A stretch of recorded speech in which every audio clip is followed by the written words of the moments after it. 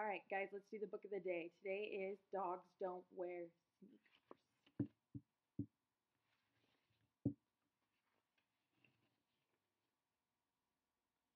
Dogs don't wear sneakers.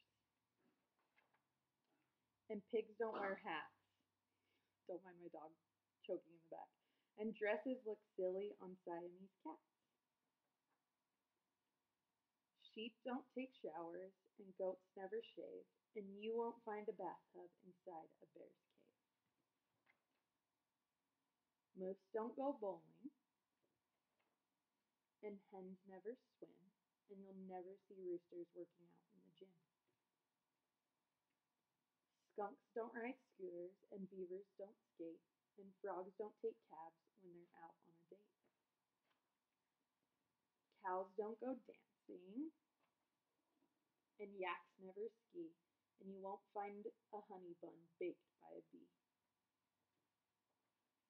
Fish don't eat bagels, and penguins don't teach, and rabbits don't sunbathe in, at your local beach.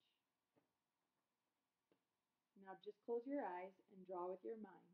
You might be surprised at what you will find, like parrots in tutus and lambs selling shoes,